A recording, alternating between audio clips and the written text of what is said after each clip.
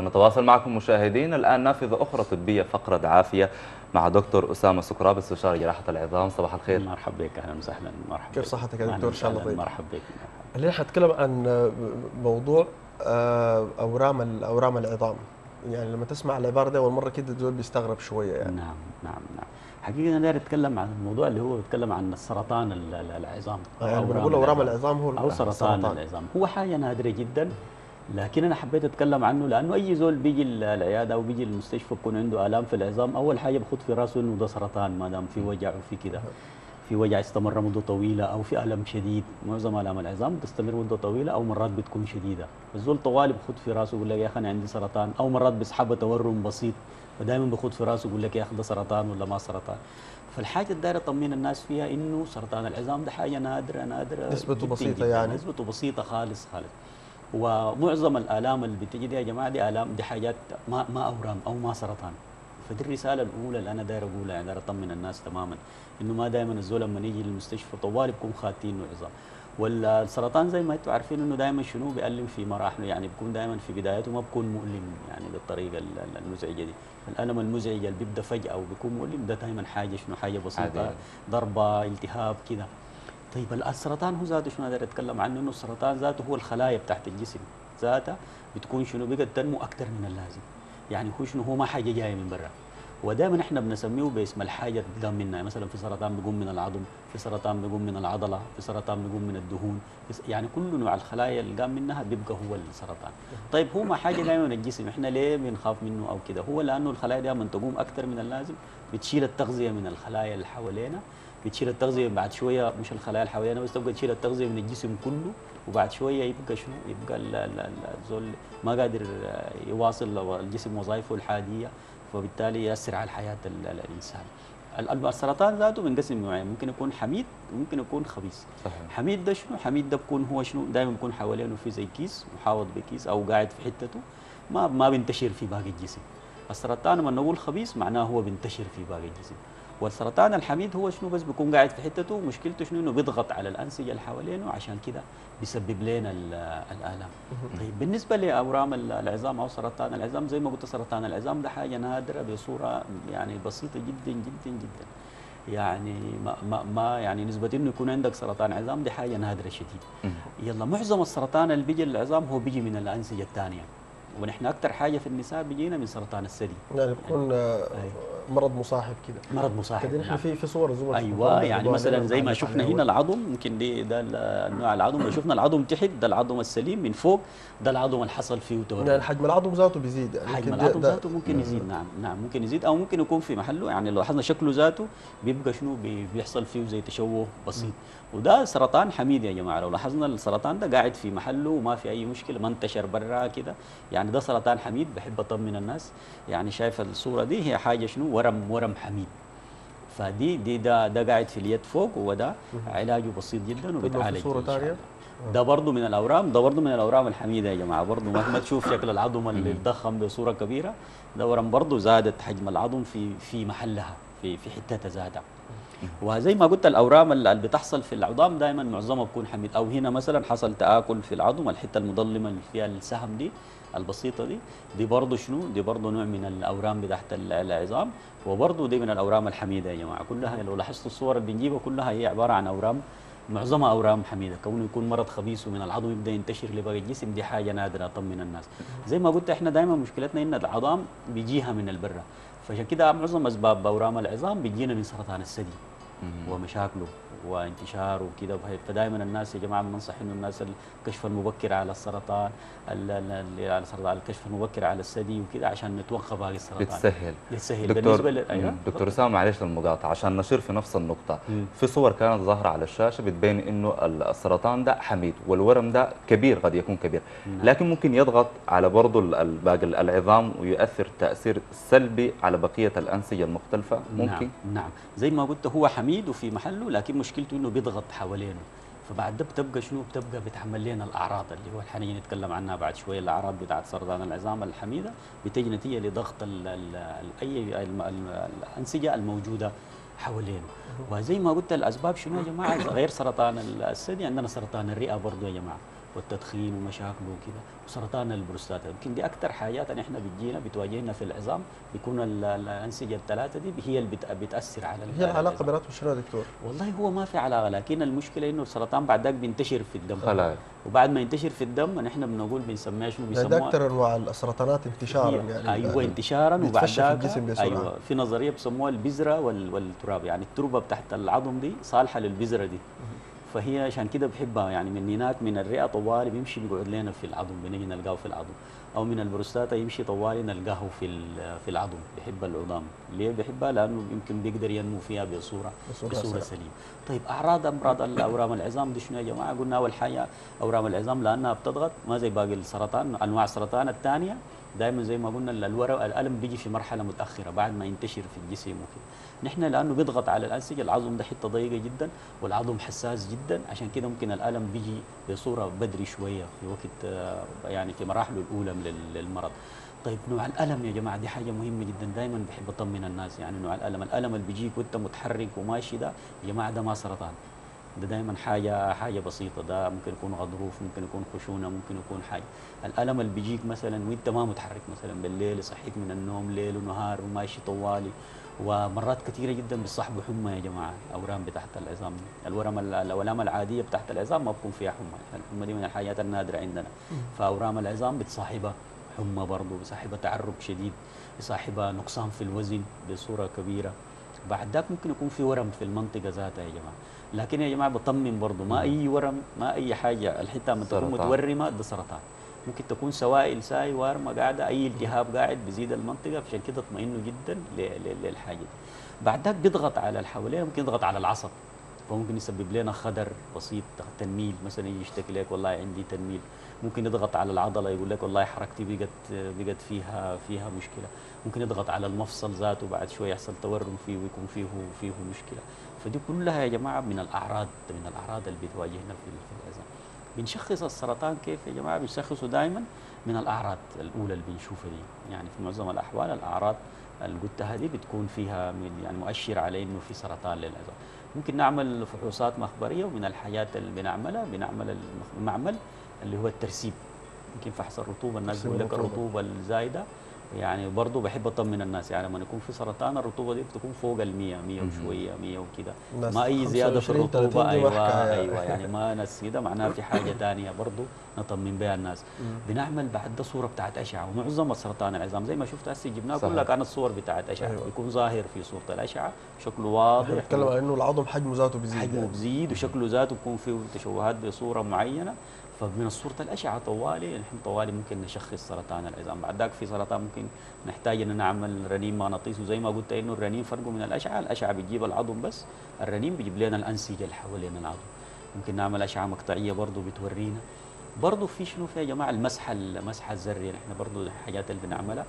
لو زول مثلا عنده حتى سرطان أي نوع ثاني من السرطان متقدم من الفحوصات ما يعني. متقدم. بيوريك أي بيوريك العظام بتاعت الجسم كلها. هل موجود في حتة ثانية أو أو أو, أو كده. طيب بعد ما نحن شخصناه ونحن بنعالجه كيف يعني يعني ما معظم ال- الحالات بتاعت العظام زي ما قلت هي أورام حميدة فنحن إذا كانت ما بتضغط على الحتة ما عاملة مشاكل فنحن شنو؟ بنخليها في حالها يعني ما بنحبشها يعني تدوها مسكنات ولا بتعملها شنو؟ والله هو ما في حاجة ما في ألم ما في كده. هو بس بيجي بيقول لك والله في حاجة في تورم هنا موجود أو كده. فبقول له يا أخي الورم ده ما دام هو موجود وكده وما مؤثر وما عامل ألم وما ضاغط على انسجه فنحن ما بنحبشه إحنا المشكلة ما فيها. هو حاجة حميدة وإحنا متأكدين إنها حاجة حميدة فطوال إحنا في الحالات دي ما بنحبشه إذا بعد ذاك عمل ضغط على اللي حوالينه أو بدأ حجمه يزيد أو بقينا إنه شكينا إنه في تورم خبيث بعد ده طوال إحنا بنتدخل تدخل جراحي. والحمد لله هسه اورام العظام الجراحة بتاعتها تطورت تطور كبير جدا جدا وبقت في معظم الأحوال إنه ممكن طوال يتشال ال- الجزء المصاب ويحصل تعويض. تعويض ممكن نشيل عظم من حتة ثانية نزرعه. آه ممكن نجيب الأجهزة التعويضية بقت كثيره جدا. اللي بتتزرع ذات ال- ال- ال- المساطير والأنواع والمفاصل وال... دي أنواع بقت فيها تطور بصورة كبيرة جدا جدا جدا جدا. حتى طيب يا دكتور بس يعني نوضح ال- الحتة بتاعت خب... حميد وخبيث دي. يعني ما ما ما بيتم التدخل بمعنى إنه ال- المريض ده آه، المفروض يتعالج علاج كيميائي مثلا أو علاج السرطان العادي. آه، والله ما حيتعالج أصلا يعني هو ممكن طيب. يعيش مع ال... أما نحن شنو إحنا اتفقنا إنه في سرطان حميد، سرطان أيوة. حميد ده بكون قاعد في محله وزي ما قلنا محاوط بكبسولة عشان كده بكون قاعد في حتة واحدة ما بينتشر. وفي سرطان خبيث. يعني شنو؟ ما في ما حوالينه كبسول ما في ما في كبسولة حوالينه أو ما في حاجة تحاوطه. وده بيبدأ شنو؟ بينتشر. ولو شفنا في الصورة دي كسر سرطان ال- ال- الصورة اللي جبناها دي كلها حاجات موجودة في حتة واحدة ومقفولة وقاعدة. فدي ما حتنتشر في باقي الجسم أو كده وإحنا مطمئنين جدا للحكاية دي فنبدأ نراقبها بس. يعني شنو ما بنحتاج كيماوي ما بنحتاج علاج بالإشعاع وما بنحتاج لجراحة وكده. فنبدأ نراقبها إذا حجمها زاد بقت تضايق الأنسجة بعد إحنا بنتدخل إذا رأينا إنه الحكاية دي من الصورة شفناها انها بعد بقت في علامات بتاعت انتشار في كده بعد ده طوالي بنبدأ التدخل التدخل دائما زي ما قلت بكون جراحي في الأول. يعني دائما بنحاول نشيل ال- الورم كله قدر الإمكان. يعني أكبر كمية يعني حوالينه وحوالينه حتى نصل لأنسجة كويسة يعني. نتأكد إنه الحتة اللي شلناها ذاتها من حوالينه ذاتها بتكون كويسة. بطريقة تدريجية. بطريقة كويسة جدا. بعد ذاك معظم الالام الاورام الخبيثة في علاج كيماوي لها برضه بشيلها بصورة كبيرة جدا. بعد ذاك زي ما قلت العلاج بال- بالأشعة أو العلاج الذري ده برضه برضه من الحاجات المهمة جدا. ومن الحاجات برضه اللي بنحاول طوال نفتش على إنه زي ما قلت إنه هي جاية من حتة ثانية نفتش إنه جاي من وين؟ جاي من سرطان الثدي جاي من البروستات جاي من كده. طوالي بنحاول نعالج ال- المنطقة من الثانية المصدر الجاية مباشرة. منها الجاية. لكن آه، دكتور أسامة قد يتساءل البعض يعني في أمراض بتاعت مفاصل أو جوا العظم أو قد تنتج أيضا يعني زي ال زي ال ال- اسمه شنو؟ العمود الفقري. قد يكون. الغضروف أو غيره نعم، صحيح؟ نعم. لكن برضه لو لو أهملناه ممكن تأثر سلبا في المراحل القادمة تتكون ورم قد يكون سرطان ولا ولا ولا نادرا يعني. والله يا أخي ده أحب أطمن الناس يعني ما في حاجة اسمها غضروف بقى سرطان دي ما في. يعني أمراض العظام العادية ما بتتطور يعني تبقى نعم سرطان. لا ما بتبقى سرطان. يعني ما بيزول عنده خشونة ركبه بعد شوية خلاه بقوم بقت سرطان. لا دي ما في ما بتحصل. نادرا نا- دي, دي ما مش نادرة ما في. دي ما في آه،. دي ما في ما في حاجة. يعني ما في سرطان. مثلا غضروف رو عندك غضروف غضروف قد يكون هوس غضروف. يعني. لا لا يعني مثلا واحد يكون عنده غضروف بعد شوية من مثلا استمر مدة طويلة سنة سنتين يقول لك بقى سرطان دي ما في. ما بتحصل. مش نادر ما بتحصل أصلا. سرطان ده حاجة براو يا حاجة جات قلت زي ما قلت جاي من أنسجة جاي عندك سرطان ثدي أو عندها عندها سرطان ثدي أو عندها أو في بروستات أو كده جا منها انتشر للعضو. أو الحاجات البسيطة النادرة جدا جدا اللي هي اللي بتحصل الأورام ممكن ودي من الأول بتحصل ورم. بيكون قاعد ورم متورم الحته وبتسبب آلام بعد ذاك آلامة ذاتها. بتكون مختلفة من آلام. الورم ده لما معروف لما تيجي تفحص أو تشيل عينة مرات بيشيلوا العينه وبخلوا الجرح فاتح. هل ممكن برضه ياثر وينتشر يعني؟ لو كان أصلا في سرطان خبيث. لا نحن طبعا السرطان ذاته العينه بشيلوها بطريقة معينة ودائما ما بخلوا الجرح فاتح. لا شنو بتقفلوا بطريقة معينة عشان شنو؟ عشان آه، قبل. الكيماوي مرات يعني في نعم.